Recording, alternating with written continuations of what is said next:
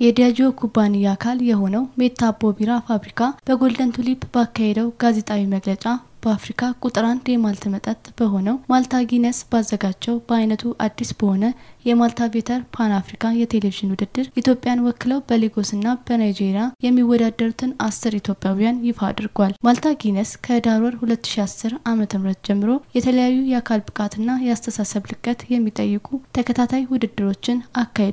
ከህዳር 2010 መጨረሻ ጀምሮ ለተከታታይ ሁለት ወራት በተለያዩ ዙሮች በተካሄዱ ውድድሮችም አስር አሸናፊዎች የተለዩ ሲሆን ከየካቲት 30 ቀን 2010 ጀምሮ ለ10 ቀናት በሌጎስ በሚካሄደው ውድድር ላይ ኢትዮጵያን ወክለው የሚሳተፉ ይሆናል። በሜታ አቦ ቢራ የማልታ ጊነስ brand manager የሆኑት ወይዘሪት ረዴት ዘገየ ስለ ውድድሩ ባደረጉት ንግግር ላይ እንደገለጹት ተወዳዳሪዎቹ ይህን ውድድር ካሸነፉ የግማሽ ሚሊዮን ብር ተሸላሚ እንደሚሆኑ ገልጸዋል። እንዲሁም ውድድሩን ጋናዊቷ ብሬላ ሙንዲ እንደምትመራውም ተገልጿል። ቀደም ሲል የመንግስት ይዞታ የነበረውና ሰበታ ላይ በ1967 ዓ ም የተመሰረተው ሜታ አቦ ቢራ ፋብሪካ ኢትዮጵያ ውስጥ እጅግ አንጸባራቂ ታሪክ ያለው ነው።